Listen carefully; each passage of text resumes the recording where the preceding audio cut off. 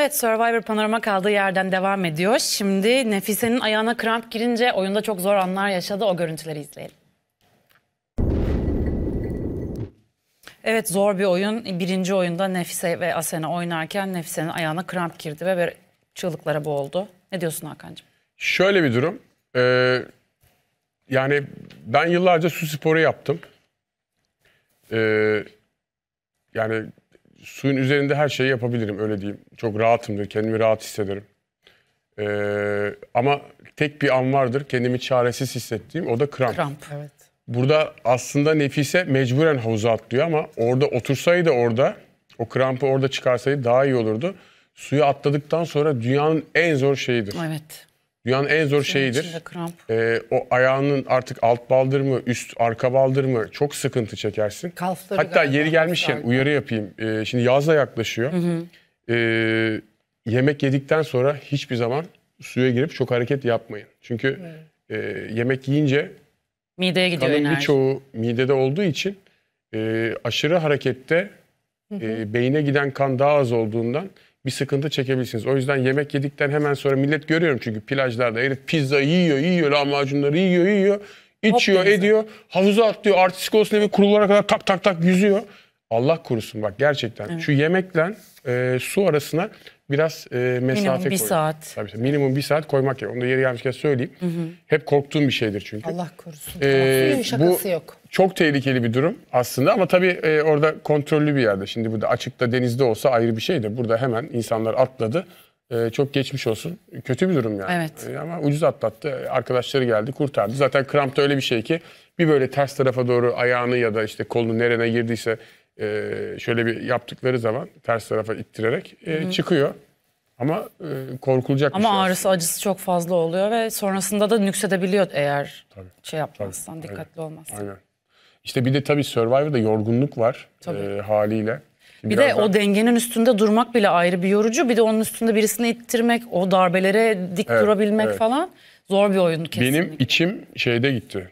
Aziz'in ayağı girdi ya. Araya girdi Aziz'in ayağı. Allah korusun oraya girdikten sonra bir böyle yana doğru düşsen yani çok tehlikeli bir şey. Evet, Allah Ee, o mesela beni çok korkuttu. O çok korktuğum bir şeydir benim yani. Ee, ama burada Nefise yani yapabileceği bir şey yok. Kramp girdi ve suda yakalandı. Suda yakalanınca da çaresiz bir şekilde haykırdı artık. Çok geçmiş olsun. Ama şöyle diyeyim, e, birazdan zaten dünkü görüntülerinde konuşuruz ama müthiş bir e, mücadele veriyor. Performans olarak her gün 8-10 oyuna çıkıyor. Hoş Survivor'da bu dönem artık günde 8-10 oyuna çıkma dönemidir. Ben hiç Tabii. unutmam 11 Haziran'da 19 oyuna çıktığımı hatırlarım. Ki hepsi de parkurdu bak 19 oyun. Artık yarışmaktan böyle e, yemediğimiz bir şeyi istifra etme noktasına geliyoruz böyle. Mide suyu çıkıyor. Evet. Öyle bir durumdaydık yani. O yüzden e, kolay dönemler değil. Buralara kaldın mı iş daha da zorlaşıyor. Kesin. O yüzden burada hep onu söylüyorum. E, isyanı az tutup o krizi doğru yönetmek çok değerli. Zaten birazdan o konuya geleceğiz ama e, Nefise'nin o konuda biraz eksiği olduğunu düşünüyorum ben. Evet. Evrimcim sen ne diyorsun? Nefise profesyonel bir sporcu.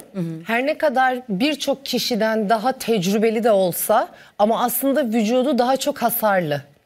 Ee, belki Daha yorgun yani. Daha yorgun çünkü e, bundan 2-3 yıl öncesinde çok zor hazırlanmış olduğu yarışlar olabilir. Sakatlık geçirmiş olabilir.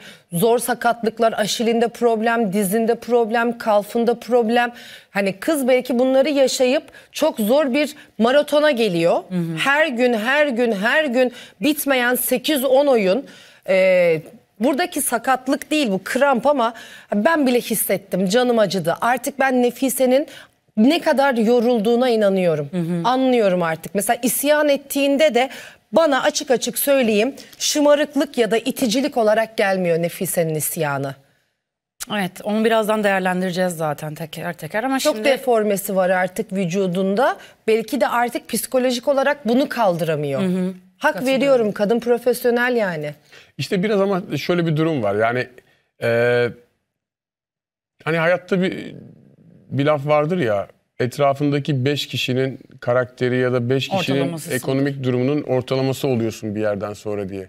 Hani sporda da mesela iyi takımlarla oynarsan gelişiyorsun ama kendinden kötülerle oynarsan sen geri bile gidebiliyorsun. Her ne kadar antrenman maç bile yapsan. Şimdi Nefis'in yani şu seneki Survivor'daki etrafındaki yarışmacılara bakınca e, Nefis'e itecek bir durum yok. Dünyadaki şimdi Nefis atlet olduğu için oradan örnek vereyim. Dünyadaki en büyük rekorlara bakın.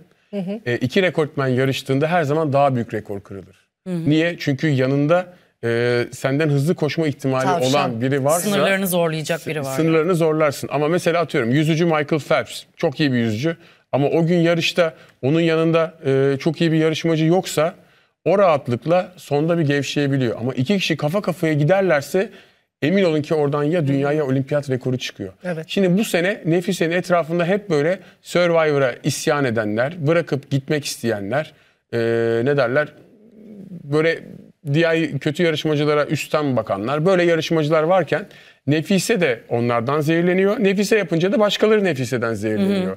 Yani bu seneki Survivor'ın özetlerinden biri de üzüm üzüme baka baka kararır. Yani bu seneki trend bu. Trend isyan edeyim, e, kazanınca diğerlerini küçük göreyim, egomu tatmin edeyim. E, oradan da bir şekilde yürüyeyim. Yani ben doğru olduğunu düşünmüyorum. O yüzden diyorum bu seneki kim şampiyon olacak çok merak ediyorum. Ben de çok Takım merak oyunculuğu ediyorum. ruhuna uydurmuyorum bu tavırları hiçbir şekilde. Yani Evet. Çok daha bireysel spor yapan bir e, tavır e, diye düşünüyorum. Yüzden şuradan gel. Şuradan gel. Şurada Aziz bile yani Survivor'ın bu sene açık ara ki bence Survivor tarihinin en kötü 5 yarışmacısından biri erkek anlamında. O bile böyle iki haftada bir oyun kazandı da hani yine dışarıda bir laf vardır. Yürüyüşü değişti diye. Evet, Oo, evet, evrime evet. bak. Parayı buldu. bulmuş, Yürüyüşü yürüyüşü değişti. değişmiş. Eskiden arabası dandikken yukarıya saklardı köşeye. Şimdi geliyor kapının önüne park ediyor. Yağmurda şemsiye bekliyor arabadan inmek için. Tövbe tövbe. Var. Öyle Öyle, derler. Aa, öyle derler. Kontes Evrim Hanım e, Hazretleri. böyle olmayacaksın. Nasılsan öyle devam edeceksin. Öyle. Anlatabildim mi? Eğer Öyle. araban iyi diye sen gelip kanalın kapısına çekiyorsan o zaman sen o paraya yakışmamışsın arkadaş. Derler Olmamış derler adama. adama. O yüzden arabanızı her zaman nereye koyuyorsanız oraya koymaya devam edin hayatta. Arabanız iyiyse de kötüyse de gurur duyun onunla. en ben öne aynen, koyun. aynen yani. Aynen ya. Yani Arabası iyi olanlara duyurulur o zaman. Ben arabam yok mesela o yüzden herhangi bir araba daha beni mutlu bütün edemez. sarı Bugün bir taksiler de senin. akşamın ipuçlarında izleyeceğiz. Beş Bütün araba arabalar senin bir Evet, araba bak oraya ödülü gelmişken. var. Allah lüks arabaları nasip etsin bizlere. Evet detaylara gireceğiz. Amin. Neyse. Her şeyi dengeli versin. Fazlası da iyi Amin. değil. İnsan sapıtıyor. Hepimiz. Her Allah şeyi dengeli bana versin. versin. Sevgi versin. Herkes. Başka herkese de 2-3 katını versin. İşte öyle de olmuyor biliyor musun? Herkes Bendekinde iyi gözü ara- olmasın. E tabii o doğru. Allah bana versin Allah. İsteyen herkese de 2-3 katını versin. Ya Evrimin zaten- şusu var, busu var, Begüm'ün busu var demesinler. Etrafında bir tek sende varsa çok büyük sıkıntı. Bak Göz gerçekten. kalıyor, nazar Göz oluyor. kalıyor, na- nazar kalıyor ve söylediğin zaman mesela Kötü insanlar algılanıyor. iyi bak bazı insanların böyle gidip iyi haber verdiğini hep söylerim bunu. Ee, mesela atıyorum git mesela de ki ben evleniyorum de mesela. Çok sevdiğin bir arkadaşın olarak düşünüyorsun. Böyle yapıyor. E, evleniyor musun? Ay hayırlı olsun çok sevindim diyor böyle ama, Ama hissinden dişlerini anlıyorsun tırnakları yani. gözleri karışıyor. Çok iyi örnek. Gözleri karışıyor ya da ya yeni araba aldık biz e, ya, ya duymuşsundur belki falan.